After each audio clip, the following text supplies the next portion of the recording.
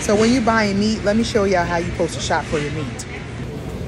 So you want to look through and try to find the cheapest price. Okay, so we got 21 here. Then you take it and put it to the side. And then you say 23. And, and, oh, boom, bingo, 19. You put that. Okay.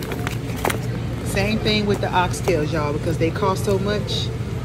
They cost so much, so you want to look through them. Try to get a price. We got 28 right here. Keep looking. Bingo, 26. That's how you shop.